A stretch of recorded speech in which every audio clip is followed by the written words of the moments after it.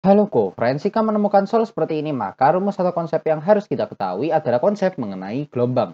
Di mana diketahui soal ini, periode suatu getaran adalah 1 per 2 detik. Maka bisa kita tuliskan nilai dari T atau periodenya adalah 1 per 2 detik.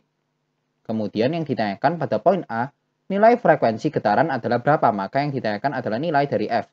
Kita harus tahu ya rumus dari F atau frekuensi memiliki hubungan dengan periode yaitu 1 per T. Jadi frekuensi dengan periode ini berbanding terbalik ya. Maka bisa kita tuliskan di sini F ini adalah sama dengan 1 dibagikan dengan 1 per 2. Maka nilai dari F-nya adalah sama dengan 2 Hz ya. Di mana kita harus tahu F ini adalah frekuensi dan T di sini adalah periode. Maka kemudian yang ditanyakan di soal ini adalah jumlah getaran dalam 5 menit. Berarti yang ditanyakan adalah nilai dari N jika nilai dari T-nya atau waktunya adalah sama dengan 5 menit atau adalah sama dengan 300 second ya.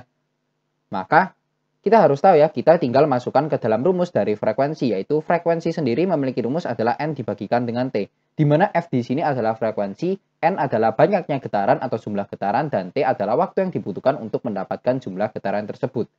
Jadi frekuensi ini bisa didefinisikan sebagai banyaknya getaran yang terjadi dalam satu detik. Maka di sini bisa kita masukkan 2 adalah sama dengan N dibagikan dengan 300. Maka kita dapat nilai dari N atau banyaknya getaran yang terjadi adalah 600 getaran ya.